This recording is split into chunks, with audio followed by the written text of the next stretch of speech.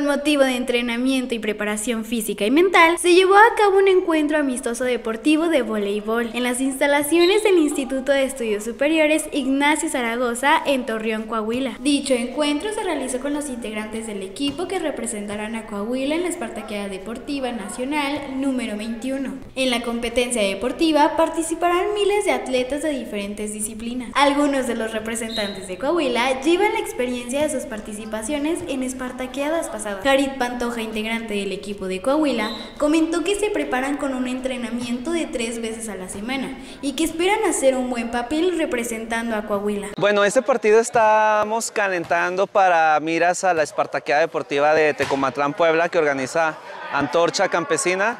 Estábamos preparándonos ya porque pues ya el otro mes es las competencias y pues ya he ido varias veces y sí el nivel está muy fuerte. A nivel nacional no le pide nada ninguna competencia, entonces tenemos que prepararnos para, pues para hacer un buen papel y representar bien al estado de Coahuila. Bueno, yo ya he ido eh, como unas tres o cuatro veces a la Espartaqueada Deportiva. Este, como he llegado a ganar la Espartaqueada una vez con otro estado que me invitaron y apenas con Coahuila llevo dos competencias que estoy participando. La Espartaquía Deportiva Nacional número 21 se estará realizando en Tecomatlán, Puebla, del 6 al 14 de mayo, con imágenes y edición de Jesús Delgado. Reporto para Antorcha TV, Itzel Sánchez. Antorcha TV